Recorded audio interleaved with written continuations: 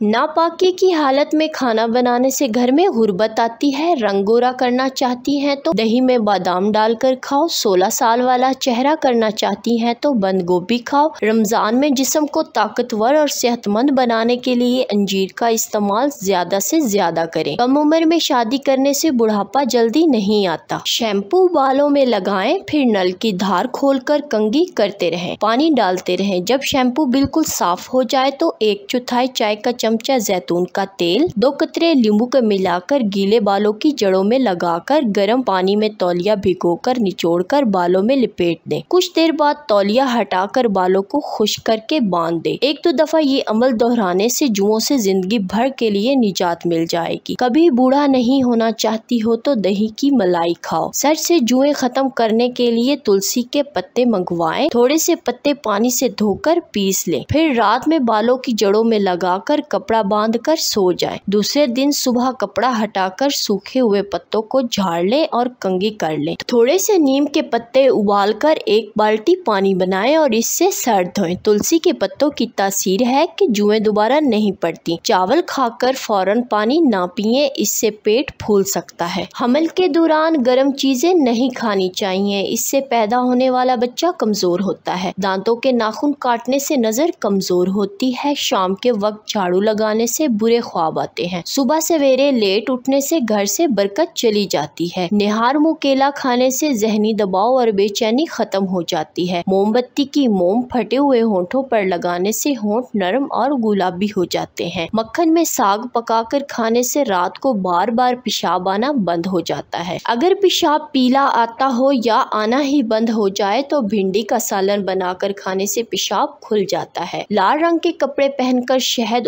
उतारने से मक्खियाँ डंग नहीं मारती। जुकाम का होना बर्स की बीमारी से निजात दिलाता है। हमल के दौरान अगर औरत मिट्टी खाती हो तो समझ जाए कि इसका बेटा गोरा चिट्टा पैदा होगा। खांसी होने से फालिज की बीमारी नहीं आती। उल्टे पाव चलने से मोटापा कम होता है। अगर होंठ फट रहे हैं तो दूध की बलाई होंठों पर लगाएँ। नज़र कमज़ोर हो रही हो तो निहार मुँह गाजर खाएँ। अगर जुकाम का वक्त इलाज ना किया जाए तो इंसान बहरा भी हो सकता है। सर के बाल झड़ रहे हो तो रात के वक्त अचार वाला तेल सर पर लगाए। अगर थकावट महसूस हो रही हो तो पानी में नमक डालकर पी ले। सर पर तेल के बजाय घी लगाने से दिमाग में ताकत आती है। नाफ में टूथपेस्ट लगाने से कभी पेशाब में इन्फेक्शन नहीं होता। पाँव के अंगूठों पर तिलों का तेल लगाने से कद बढ़ता है। घुटनों पर जैतून का तेल लगाने से घुटने दर्द नहीं करते। नहाते वक्त आखिर में ठंडा पानी बहाने से सुस्ती दूर हो जाती है। अनार खाने से गाल मोटे और सुर्ख होते हैं। निहार मुँह खीरा खाने से रंग निखर जाता है। सूखी रोटी भिगोकर खाने से जवानी देर तक कायम रहती है। अजवाइन का इस्तेमाल करने से कभी बुखार नहीं होता। खट्टा माल्टा खाने से दांत गिर जाते हैं। सुबह जल्दी जागने से दिमाग तेज होता है। कम बोलने से उम्र बढ़ती है। सौंफ खाने से दांतों पर पिलाहट नहीं आती। जवान जानवर का गोश्त खाने से बुढ़ापा जल्दी नहीं आता। दोपहर का खाना खाने के बाद थोड़ी देर सोने से दिमाग तेज होता है। जो खातन गुसल किए बगैर घर में आटा गूंदती हैं, इनके घर में रिस्क की तंगी आना शुरू हो जाती है। दही खाने से कब्ज का मसला नहीं होता। कच्चे अनार का पानी बालों में लगाने से बाल जल्दी बढ़ते हैं। नीम के पत्ते चबाने से दांतों को कीड़ा नहीं लगता। बासी रोटी दूध के साथ खाने से मुँह की झुरियाँ खत्म हो जाती हैं। नाश्ते में खजूर खाने से गुर्दों की बीमारियाँ नहीं होती। कुछ मुरंगे निहार मुँह चबाने से मोटापा दूर हो जाता है। अमरूद के पत्ते चबाने से बवासीर की बीमारी खत्म हो जाती है। लौंग पर नमक लगाकर चूसने से छींके आना बंद हो जाती हैं। सर के बाल अगर सफ़ेद हो जाएँ तो एलोवेरा सर पर लगाकर नहा लें। अस्सी साल तक बाल सफ़ेद नहीं होंगे। गन्ने के रस में नींबू निचोड़ कर पीने से मुँह की झुरियाँ गायब हो जाती। अगर आपका भी पेट बढ़ गया है तो रोज़ाना निहार मुँह पाँच मिनट के लिए एक पाँव पर खड़े होने से पेट पीछे की तरफ़ जाना शुरू हो जाता है। लकड़ी के फर्नीचर में कीड़ा लग जाए तो डीजल लगाने से कीड़े मर जाते हैं। कच्ची मूली खाने से दिमाग तेज होता है। नीम नीम की नमूनिया खाने से फोड़े फिंसियाँ नहीं निकलते। अगर उल्टियाँ और मतली का मसला हो तो माल्टे का इस्तेमाल करें। कंप्यूटर की तरह दिमाग तेज चाहते हो तो गाय का दूध पिया करो। कोलेस्ट्रॉल की सतह को कम करने के लिए दही का आटा और गाजर ज़्यादा खाएँ। खाना खाने के बाद मिसवाक करने से बदहजमी नहीं होती। सौंफ का ज़्यादा इस्तेमाल आँखों की बेनाई को तेज करता है। गुलाब के फूल के चंद पत्ते चबाने से खून की कमी दूर हो जाती है। नाक के नंथनों पर तेल लगाकर सोने से खराटे आना बंद हो जाते हैं। सर के चक्कर दूर करने के लिए शक्कर और सौंफ हम वज़न कूट लें। सुबह और शाम एक चम्मच पानी के साथ इस्तेमाल करें।